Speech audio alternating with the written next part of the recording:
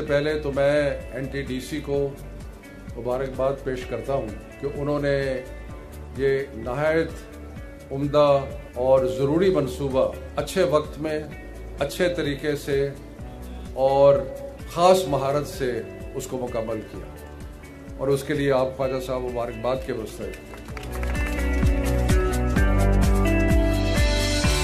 I welcome you all on this August gathering regarding inauguration ceremony of 220 kV GIS grid station Ghazi Road, Lahore. My special thanks to Federal Minister Mr. Shafkat Mahmood Saab for sparing time from his pressing engagements and grace this occasion. NDDC, Alhamdulillah, successfully commissioned and energized the 220 GIS grid station uh, with the cost of 5.664 billion